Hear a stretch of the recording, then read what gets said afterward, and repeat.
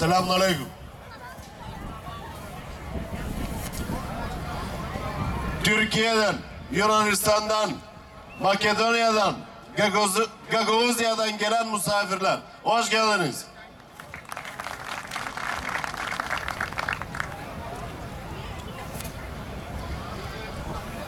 Всички заедно първо искам да поздравим организаторите на това мероприятие. Много добра организация са направили, много добро мероприятие, на което присъстваме. Искам аплодисменти за организаторите.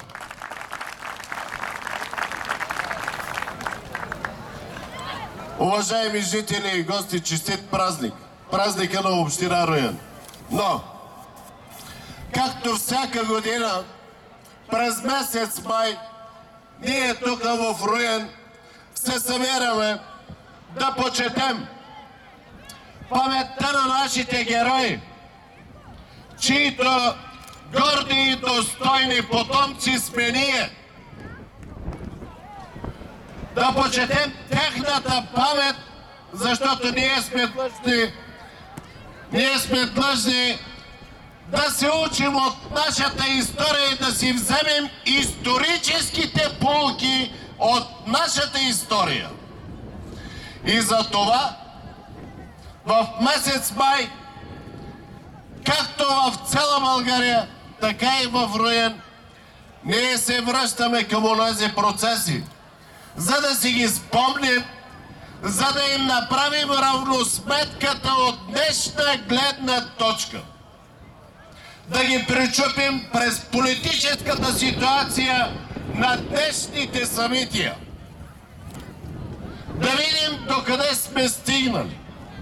Защото ако преди 28 години, 89-та година, ние трябваше да се обединям ние го направихме, защото преди това имаше едни много грозни процеси, които потъпкаха нашето достоинство. Едни процеси, които отнеха имената ни. Едни процеси, които се опитаха да забранят езика ни. Едни процеси, които забраняваха нашата религия и култура. Защото по-отделно, но с еднакъв модел нас успяваха да на потъпчат. Но 89-та година благодарение на нашия лидер, на почетния ни председател доктор Ахмед Тоган, ние се обединихме и това обединение се нарича Движение за права и свободи.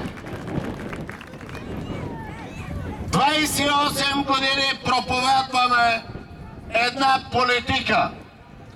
Политика на толерантност и мир. Политика на заедност и единство. Политика в името на правата и свободите за да има стабилност и сигурност в нашата родина. Онази енергия от преди 89-та година, онази болка, онзи вътрешен протест, който всеки един от нас го живееше, нямаше да има онзи успех на 89-та година, ако не беше организиран ако не беше канализиран.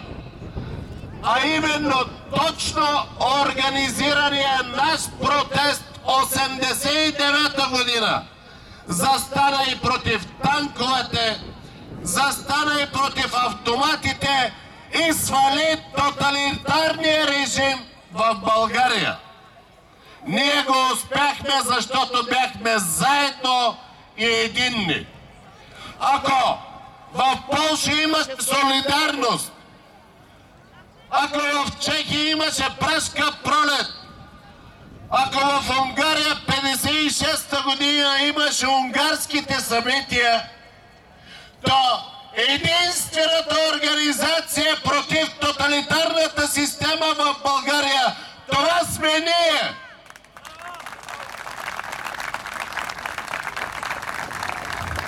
Нашия организиран протест успя да свали тоталитарния режим, но от днешна гледна точка, ако погледнем какви събития се развиват в нашата родина, трябва с болка да си го споделим. Ако миналата година тук бяхме пак заедно и казахме, че за две години в България езикът на омразата стана официален език. Политици, без да се съобразяват от медиите, говориха с езика на омразата. Нещо повече. От трибуната на Народното събрание се лееше езика на омразата, но омразата, разделението и противопоставянето влезе и в законодателството. И ние миналата година казахме, този процес трябва да спре и да прекъсне и ние през президентските избори ще направим така, че да дойдат предсрочни парламентарни избори, за да може фашистите, националистите да не са част от управлението на страната, както бяха. И аз искам да ви поздравя за успеха, който постигнахме всички заедно на президентските избори, за да стигнем до ситуацията на предсрочните избори. Само, че на предсрочните избори какво направихме? Аз искам всеки един от нас да си зададе въпроса и да се отговори сам за себе си. Всеки един от нас какво е направил на предсрочните парламентарни избори.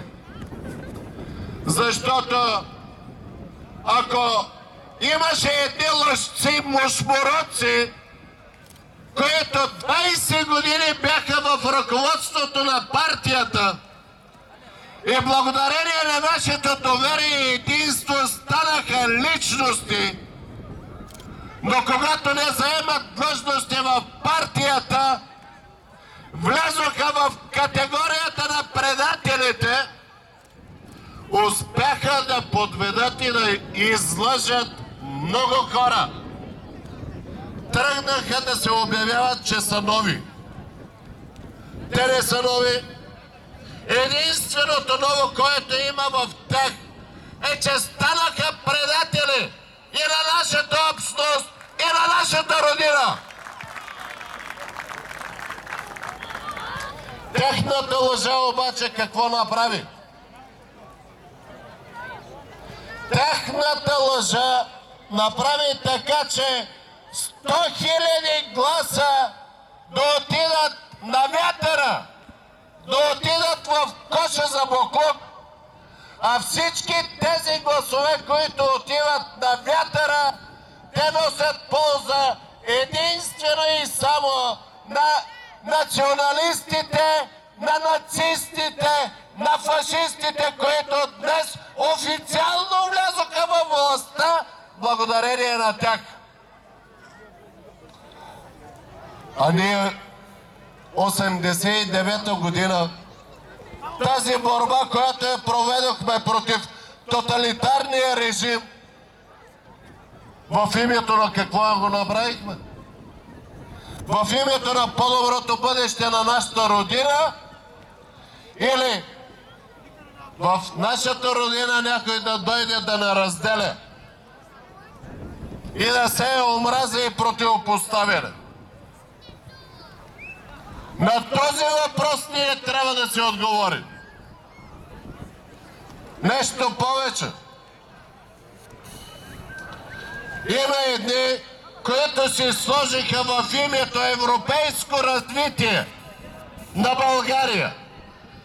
Какво има е европейското развитие, като днес твърдят, че те ще ли да бъдат гаранта за етническия мир в страната? По какъв начин? Чрез включването на националисти, нацисти, фашисти във властта. По този начин ли ще гарантират мира в нашата родина? Не, мира в нашата родина ние показахме по какъв начин може да се гарантира още 89-та, 90-та и 28 години показваме правилния път за развитие на нашата родина. Той път се погърдите, че са имали десетки хиляди гласове от турците, от мислюваните.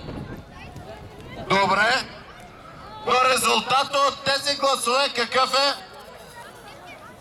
Най-голямата парламентарна група от 95 човека, десетки хиляди гласове имали.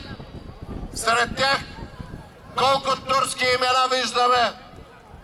Един и то името на този, който закри Разградски кърджалийски турски театър.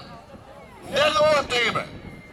Ако това е гаранцията за етническия мир, аз не ще някой в нашата родина по този начин да гарантира етническия мир. Напротив, нашата философия е толерантност и мир в нашата родина. Заедност и единство в нашата родина. За нас различният другия не е враг. За нас заедно с различния, заедно с другия, ние искаме да градим нашата родина и по-доброто ни бъдеще. И нашето, и на нашите деца. Предателите, тъй като нямат философия и идеология, те разчитат единствено и само на фалша и лъжата. Политиката им се гради само на фалш и лъжа. Едно огромно лъжа направиха. Говориха, че сме били против Турция. Allah Allah. Böyle bir şey olabilir mi? Hayır, olamaz. Ние никога не сме били против Турция и днес не сме и няма да бъдем против Турция. И не само против Турция, против нито един наш съсед няма да бъдем.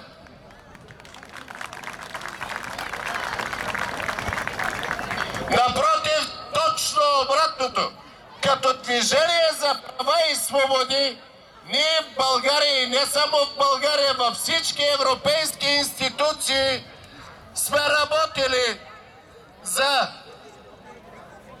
развитието и членството на демократична, светска, кемалистка Турция в Европейския съюз и ще продължаваме да работим. Ние можем да го правим толкова колкото сме силни. Но нашата сила извира от нашата земя и от нашето единство. Затова аз призовавам да бъдем силни, за да можем да отстояваме нашата кауза за толерантност и мир в нашата родина и в региона за заедност и обединение в нашата родина и региона, за права и свободи в нашата родина и в региона, за стабилност и сигурност в нашата родина и в региона. Но за да можем да се борим и да осъществяваме тази политика, ние трябва да сме силни, а нашата сила извира от нашето единство. И затова тук от Ория ние трябва да заявим всеки един, който се опитва да, да ме разединява, той е наш враг и ние ще се борим против него.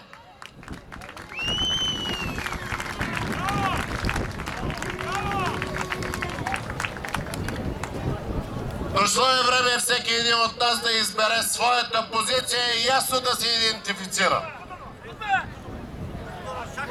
Защото както преди малко видяхме, кукерите застанаха тук да гонят злото, така по същия начин ние трябва да застанем заедно с кукерите. И ако забелязахте, във всяка една от маските имаше и огледало. В това огледало ние трябва да видим доброто, да видим себе си, своята душа. А доколкото имаме гости от Турция, искам да се обърна и към tях. Türkiye'den gelen misafirler hoş geldiniz.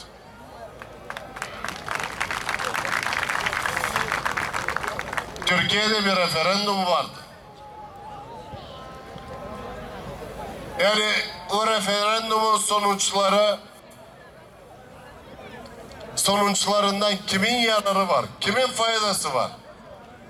80 milyon Türkiye'nin mi, bizim sevdiğimiz Türkiye'nin mi, yoksa bir kişinin? Yani bu sorunun cevabını siz biliyorsunuz.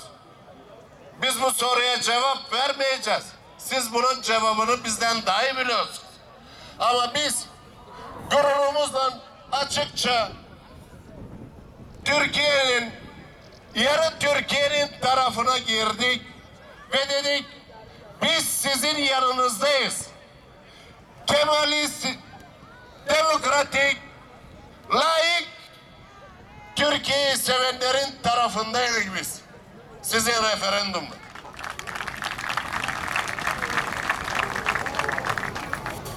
Ama Türkiye'de bazıları orada bize siyaset yapmaya geliyorlar. Ne amaçla geliyorlar? Kardeş sevgisi, kardeş sevgisi mi getirirler bize? Yoksa bölücülük siyaseti yapmaya mı gelirler? Bizim gücümüzü yükseltmeye. Yani bunları da biz iyice takip et, takip etmemiz gerekiyor. Açıdan her zaman hoşgörüyle, kardeş sevgisinle gelirseniz hoş gelmişsiniz. Gelin buyurun. Sağ olun, var olun. Renk halkı. İyi bayramlar size diliyorum. Sağ olun, var olun.